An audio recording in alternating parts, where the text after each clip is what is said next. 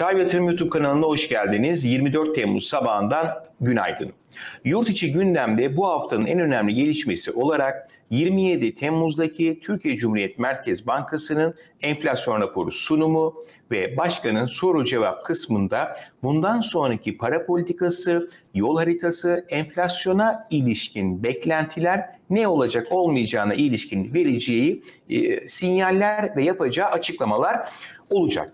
Şimdi Mehmet Şimşek'le başlayan ekonomi yeni yönetimindeki değişim heterodoks politikalardan ortodoks politikalara değişimin hızlı olabileceği beklentisini devreye aldığından dolayı özellikle bu yeni değişimle beraber sert faiz artışları, hızlı ortodoks politikaya dönülmesi ve dönülürken de ileriye dönük olarak da neler yapılıp yapılmayacağına ilişkin net bir yol haritasının devreye sokulması şeklindeydi. E, fakat önce e, politika faizi 15'e çıkartıldı. Daha sonra piyasa 500 bas puan beklerken 250 bas puanlık bir e, faiz artışı yapıldı. Ki Tribe Yatırım Araştırma'nın beklentisi de 250 bas puandı. Şimdi bu noktada piyasa şu soru işaretini devreye aldı. Acaba beklediğimiz kadar bir sıkılaştırma olmayacak mı?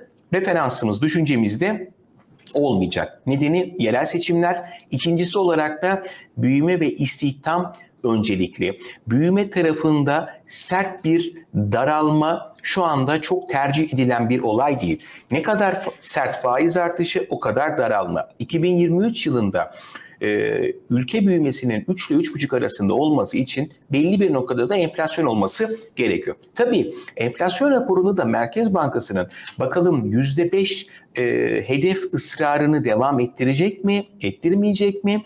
Yoksa e, enflasyon beklentilerinde piyasa beklentilerine yakınsayacak ama karşılayacak değil, yakınsayacak değişimlere gidilecek mi gidilmeyecek mi? Dolayısıyla 27 Temmuz'daki enflasyon raporu e, Merkez Bankası açısından ve piyasanın Merkez Bankası'na ne kadar inanıp inanmayacağı açısından oldukça önemli ve kritik olacak. Borsa İstanbul'a bakıyoruz. 6500, 6800 bant hareketimiz devam ediyor. Zaten yukarıda 6800'lere yaklaşıldı. Şimdi bu noktadan sonra sert geri çekilme mi yoksa sert geri çekilme bekleyen e, pozisyonlanmayı açık sıkıştırmayla 6800 sonrasında 7200'e taşımamı. Hani senaryomda biraz daha bu 6800-7200 bandındaki hareket devreye e, girebilir. Çünkü yine kalabalığın ortak paydada buluştuğu nokta Borsa çok yükseldi. 4000'den zaten rally başladı. Rally'nin çoğu da e, yatırımcılar tarafında e, kaçırıldı. Çünkü selektif bir rally'ydi. Hani her 6600, 6750 e, bölgesine geldiği zaman da satış pozisyonu olsun, sert geri çekilme olsun. Ama şu anda e, bizi bu noktaya getiren dış politikada majör bir değişiklik olmadığından dolayı e, bu etkin bir unsur da 7200 hareketine doğru gidebilir. Ama tabii ki de risk kontrolümüzü etkin bir şekilde yapıyor olacağız. E, son e, hafta sonu özellikle e, Mehmet Şimşek tarafında e, Türkiye'nin e, gri listeden çıkarılmasına ilişkin açıklamalar vardı. E, bunlar pozitif gelişmeler. Buradaki ana dinamikte CDS'in gerilemesi.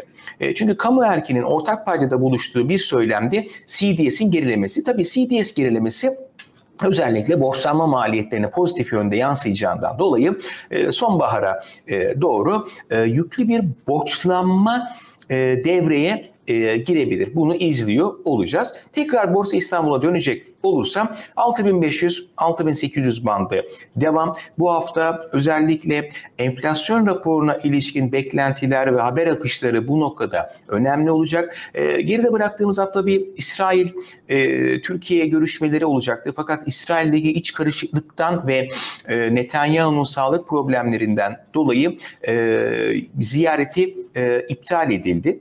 E, tabii genel olarak baktığımız zaman da borsa tarafında da bilançolar e, geliyor. Arçelik bilançosu geldi. Arçelik bilançosunda net kara göre baktığımız zaman da piyasa beklentisinin aşağısına kaldı. 492 TL'lik bir e, kar geldi. Tabii bu e, kar sadece kar olarak bakılmaması gerekiyor. Çünkü marjlar tarafında özellikle FAVÖK marjında çeyrek çeyrek bazında iyileşme e, devam ediyor. Ama tabii ki de e, küresel çaptaki e, durgunluk Arçelik tarafını da e, olumsuz yönde etkiliyor. E, sabah saatlerinde Yapı Kredi'nin bilançosu e, geldi. E, 11,5 milyar TL'lik bir kar rakamı açıkladı. Zaten piyasanın beklentisi de 11.2-11.3 e, arasındaydı. E, beklentiye paralel bir bilanço e, geldi. Bu haftada işte TAV, Fortoto, Otkar, e, Garanti, Türk Traktör, Aygaz, Tüpraş bilançolarının gelme potansiyeli bulunuyor.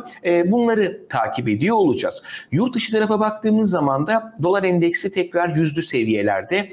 Ons altın bekleyişe geçti. Neyi bekliyoruz? 26'sındaki FED faiz kararı kuvvetle muhtemel 25 bas puanlık bir faiz artışı olacak. Euro dolar 1.12'nin aşağısında e, baskılanıyor. Amerikan endekslerinde FED bekleyişi devam ediyor. Dolayısıyla haftanın en önemli gelişmesi olarak Fed'i takip ediyor olacağız. Bununla ilgili zaten detaylı videoları, görüşlerini e, Utku sizlerle paylaşıyor olacak. Herkese sağlıklı, iyi bir hafta iyi bir hafta dilerim.